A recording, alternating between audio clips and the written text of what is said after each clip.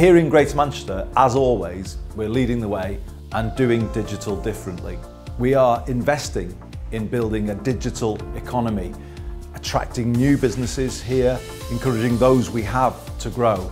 And at the same time, we're putting a lot of investment into giving our people the digital skills that they're going to need so that anybody from any background, any community can make their way in the digital economy.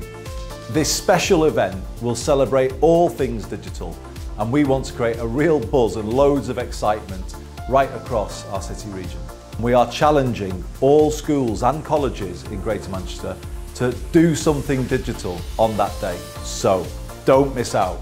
Make sure your school or college signs up now.